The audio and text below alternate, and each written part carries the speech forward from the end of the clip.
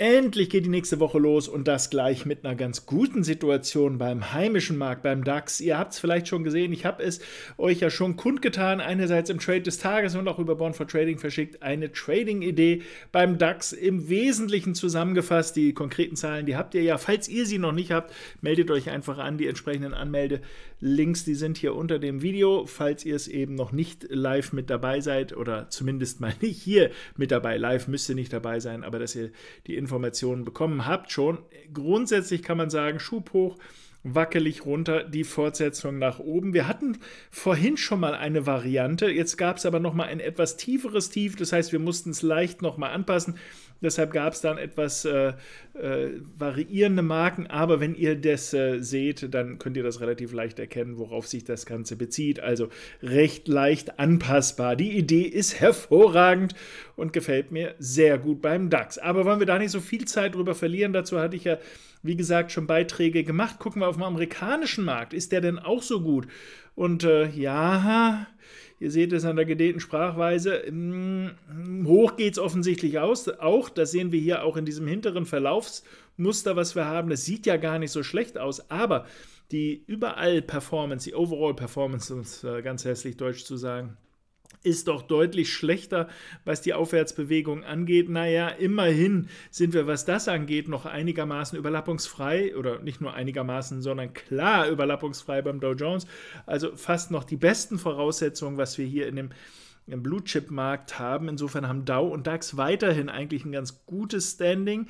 Nicht so toll ist es bei den gemischten doppelt so sozusagen, nämlich hier der ES das ist der, der auch viele Nasdaq-Titel, die großen Techies mit drin hat und dann auch noch sehr schwergewichtig. Und dann seht ihr eine Entwicklung, jawohl, Aufwärtsbewegung, von diesem Tief ausgehen, von da, super, das macht Laune. Aber Zumindest sieht man, dass wir viel Rücksetzer haben, die A sehr stark, sehr steil sind, B auch noch kursüberschneidend sind. Also wenn man das hier sich anguckt, das ist tiefer. Da kann man hier sagen, oh Gott, was für eine Mimose, was ist der da pingelig. Aber es hat sich eben durchaus bewährt zu prüfen, ist das Ganze in einer starken, in einer strengen Bewegungsrichtung oder ist es eher in einer Bewegungsrichtung, die ja eben nicht so easy ist, die nicht überlappungsfrei ist? Also in dem Fall ist sie eben mit Überschneidung und dementsprechend eben nicht das Premium-Segment des Käufermarktes, wo man normalerweise davon ausgehen kann, das schiebt den Markt am meisten. Das Ganze liegt sicherlich an den Techie-Titeln, denn das sehen wir schon hier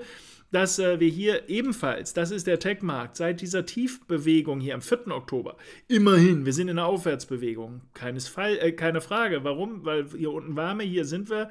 Das ist streng genommen eine Hochbewegung, das kann man nicht anders sagen. Also insgesamt ist das seit dem Tief eine Aufwärtsbewegung. Aber auch hier guckt euch mal diese Gegenbewegung, diese an. Nicht nur, dass sie sehr stark ist, sehr tiefgehend, sehr steil ist, was häufig ein Zeichen ist von hm, ein bisschen schissig unterwegs im Moment. So richtig äh, äh, Freude haben wir nicht, eigentlich die Hose voll, reagieren sehr schnell auf negative Nachrichten und eben sehr klar mit diesem eben nicht überlappungsfreien Bild. Und manch einer, der mich schon mal häufiger hat reden hören, der weiß, je weniger es Überlappungsfreiheit ist, desto eher ist das eine Aufwärtsbewegung im Gegentrend.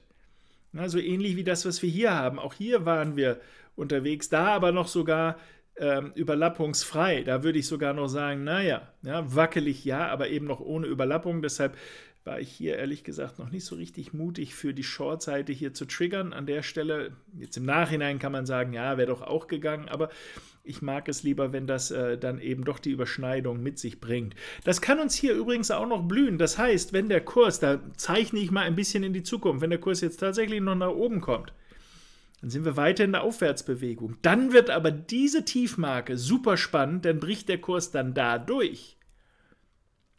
Ist das eigentlich ein recht gutes Zeichen, dass wir diese Marke auch nochmal unterschreiten und eben noch ein gutes Stück tiefer gehen? Und da werden wir mal sehen, was das bedeutet, wenn wir dann diese Marken, diese Zone, die wir hier haben, verlassen, ob da nicht die 14.000er Marke nochmal läuft. Ich will jetzt den Teufel, den Beelzebub nicht an die Wand malen.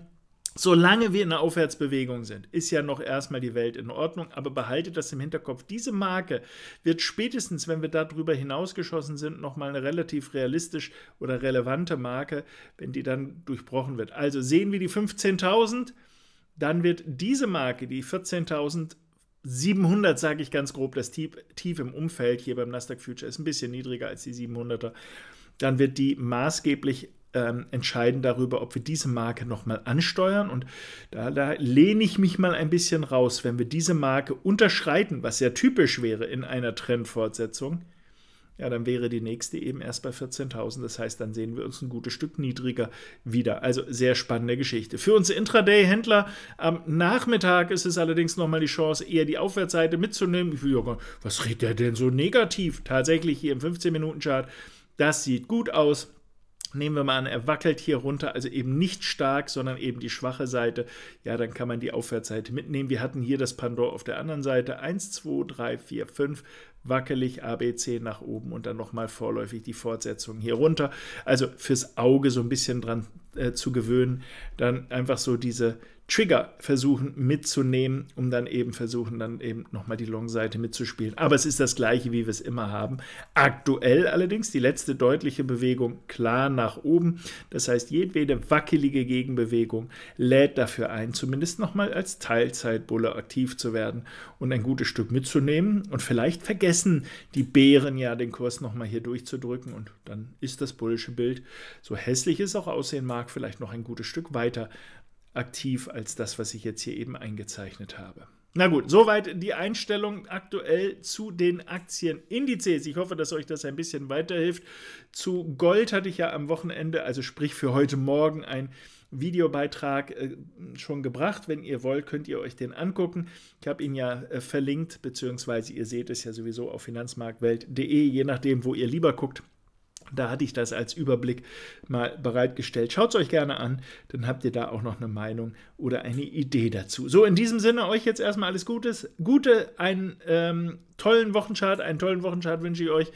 Wir sehen uns im Laufe der nächsten Stunden bestimmt nochmal wieder, sei es im Markt oder mit manchem Beitrag. Bis dann.